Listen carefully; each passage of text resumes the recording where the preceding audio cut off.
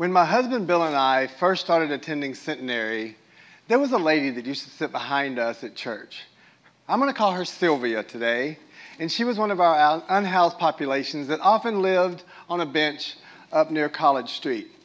Now, Sylvia had a tambourine, and Sylvia would oftentimes tie her dog outside of the church and come inside with her tambourine.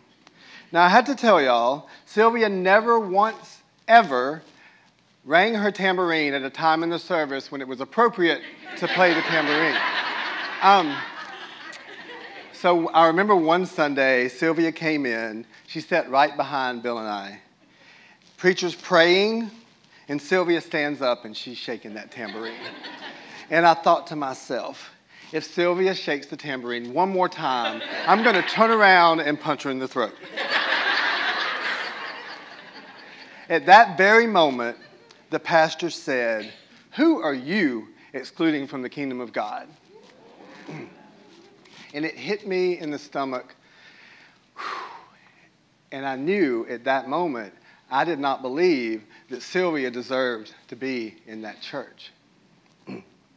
that pivotal moment in my life and in my story led me to go back and start thinking about why would I ever believe that Sylvia didn't belong in that church when I knew for a fact that there were many times in my life where I was the one on the fringes? Six years old, sissy.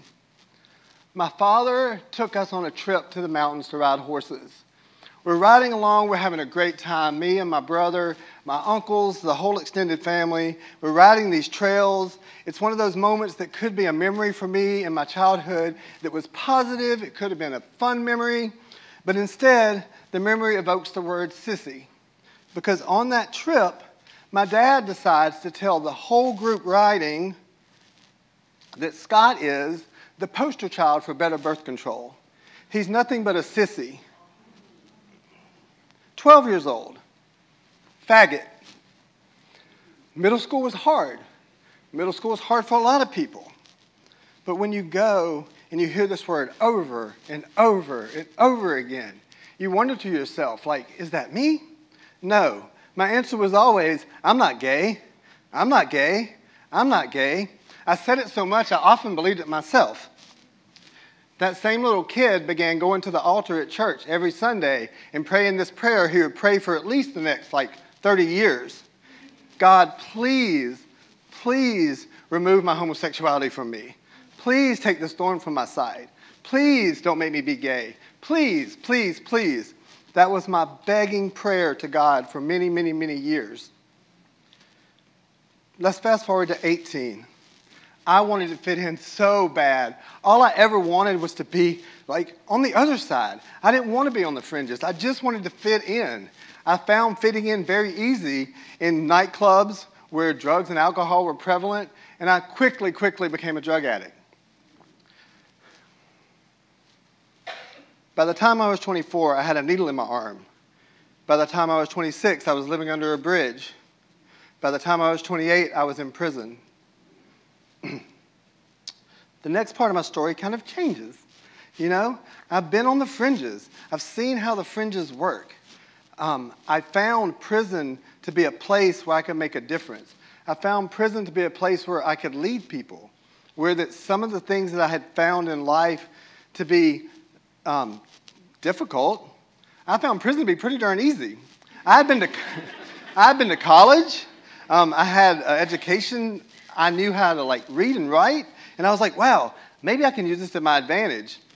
I started teaching uh, other guys in prison how to get their GED. I started teaching math. I started teaching writing. I helped them write letters to their parents and their family. Um, it became kind of like a pretty easy ride for me for that time I was there. I started NA and AA groups in prison to try to help other guys get the kind of knowledge that I had about what it could be like on the other side. And then it got me thinking on the other side, fringe, on the other side. Like looking back at it, I can see pivotal moments that really shaped all that. When you're going through it, a lot of times you're so engulfed in it that you don't even know that that's what's happening. So when I got out of prison, funny story. Um, they, sent, they sent me home with a leg, with a leg monitor. It was like this big um, on the side of my leg. Guess, guess what you can't get when you have something that big on the side of your leg? A job. Um, so uh, every single interview I went to, the, whoever was interviewing me did nothing but look at my leg the whole time um, I would interview. Even when I was doing right, I still felt like I was on the fringes. I felt like I just couldn't get ahead. Um, I wound up getting a job. I took the, the, the least, oh, I'm trying to think of a word, word here, the least desirable job I could think of that I wanted. I had applied for every job from a counselor. I want to do all these things, and instead I became a line cook at McDonald's. And I flipped hamburgers, and I flipped hamburgers, and I flipped hamburgers. And within a year, I had my own store as a store manager. And then from there, I became a regional operator um, and I had stores all over middle Georgia, which led me to Macon. When I got to Macon, my office was right up the road um, on Pio Nono and Vineville. And little did I know that my husband Bill lived right behind my office. Um, lucky for me, that became another pivotal moment in my life because I found someone that I could build a life with. Now I'm looking at fringe dwelling in a different way. I'm looking at like, how can I help people? I'm starting to look at different ways that I can be of service to people because I've had people in my life that are pouring into me. So Bill and I start going to Centenary, and we met Sylvia, of course, from the beginning of the story. But one thing that quickly people started to notice is Scott still goes down to the altar every Sunday to pray some stupid prayer. Um, I would go down, pray that prayer, um, even after I had met my now husband. And I prayed this prayer God, please take my homosexuality away from me. Please, that's my prayer. And one Sunday, um, after church, Pastor came up to me and said, Scott, what do you go down there and pray for every Sunday? What is it that you keep going down and asking God at the altar? And I told him, and they grabbed my shoulders and they said, You never have to pray that prayer again. You're a beloved child of God, perfect just the way that you are. When I look back at the fringe dwelling that I'm doing now, I see these pivotal moments, that being one, that really changed the trajectory of my life so that I could do the work that I do now. Because of that moment, I started seeing other people that had similar journeys to mine I started seeing LGBT kids in our community that probably needed a mentor, that might have had a dad that called them a sissy, maybe middle schoolers that might be in school right now being called a faggot. I saw other people that were on the fringes. I saw homeless people like Sylvia that literally started coming into my, my realm of consciousness. I saw them coming and I saw them coming, and it just kept growing and kept growing and kept growing. And I kept growing. And I kept warning other people to be in my realm. I wanted to see who else can I help? Who else can I invite in to my inner circle? Who else can I see that maybe I haven't seen before, that maybe I didn't want to see before? Something hit me again just this past week, like a ton of bricks. I was out canvassing for this election we just had, and um, I went with one of my really good friends. We got our list, got in the car, we drove over. I want y'all to think about this. Everybody in this room, no matter where you live, no matter where you're from, you have roads and streets that you use as cut throughs. You cut through. You get you use this one to get to the grocery store. You might use this one to get the kids to school. You might use this one to go to Dairy Queen. You know, all these little streets that you just cut through, right? We cut through.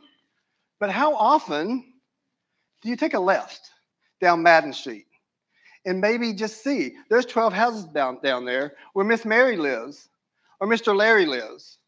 What happens if you take a right down Cole and you meet Miss Alice? Like, what happens if you start taking those roads that aren't just your cut through anymore? Guess what happens? Those people become your neighbors. All these people that used to be on the fringes, they're now part of your community. Like, right? But it gets even deeper than that. Do you know why? Because every place that we went and canvassed was a neighborhood in my own town that even a week ago I probably would have called dangerous. Do you know why it's dangerous? And this hit me hard because I never thought about it till then. Because black people live there. That's the only reason that people would consider it dangerous. And it's not dangerous. Um, I never one time felt uncomfortable. I walked straight up to a trap house. I'm here for voting. I'm, I'm here for voting, just voting, just voting. Uh, and I mean, it, it wasn't dangerous. I looked down my friend list on social media and I'm thinking, like, how many people on here would also feel that way? It's not. And we have to change the dialogue. You know, just because somebody's different of you, I've really had this like thing, like I thought I was dwelling on the fringes. That's a cute little name, yada, yada, yada. And then the more I worked on this talk, the more I realized that even in that saying that, I'm othering people. You know? Like, even in that, where in my head, it was good. In doing this talk, I've learned so much because even in the title of my talk, I was othering people. I was centering myself over here and everyone else is over there. And I've learned so much. In my meditation practice, I do this thing a lot. And it's one of my absolute favorite things.